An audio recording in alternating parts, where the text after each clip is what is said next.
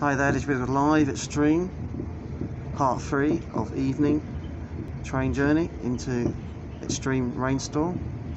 Woking Town weather forecast UK.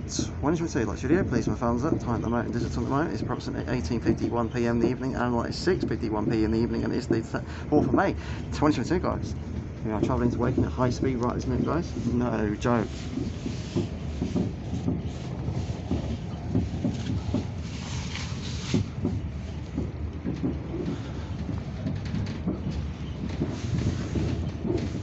Not too far from the bridge now, outside Morrison's.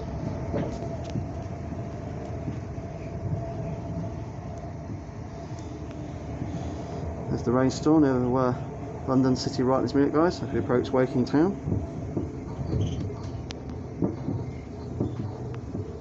There are the towers.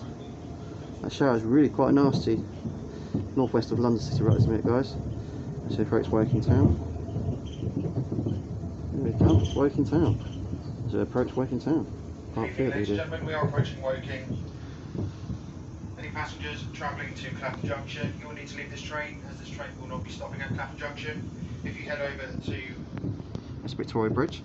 platform 2, the next quickest train Incredible sight, those towers, aren't they? Eye-watering, aren't they? Especially in the thunderstorm 1940. clouds to the northwest of So Woking passengers Town travelling to Clapham and to the northeast especially. Jump off this train, head over to So like this video, this is arriving at Woking train station right now.